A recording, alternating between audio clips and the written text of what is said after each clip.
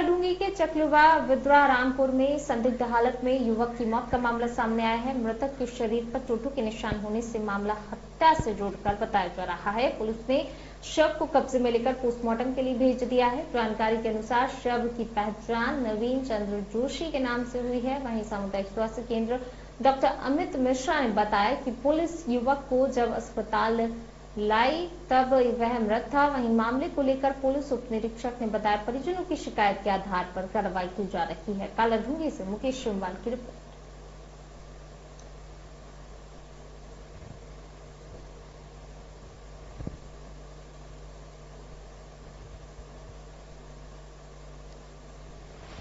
जंगल थे, जंगल गए थे रह रहे थे क्या थे पता नहीं कहाँ गए थे क्या गए थे ये मेरे को तो आपको किसने बताया कि बॉडी वहाँ पड़ी हुई है? ये स्टेशन ने बताया मेरे को क्या आते पी पी के टाइट हो रहा है क्या कहते वहाँ पड़ा करके तब जाते घर से माँ गई। तो जब आपने देखा तो क्या मतलब ये मौत हो गई थी कि मैं तो गया नहीं साहब क्या बोलो मम्मी गई थी। हम्म।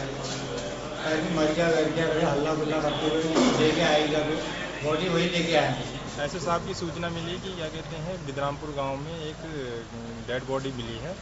तो सूचना पे हम लोग क्या कहते हैं, मैं फोर्स के पहुँचे तो क्या कहते हैं, बॉडी घर पे मौजूद थी और उसको पंचायतनामा भर के पोस्टमार्टम के लिए भेजा जा रहा है।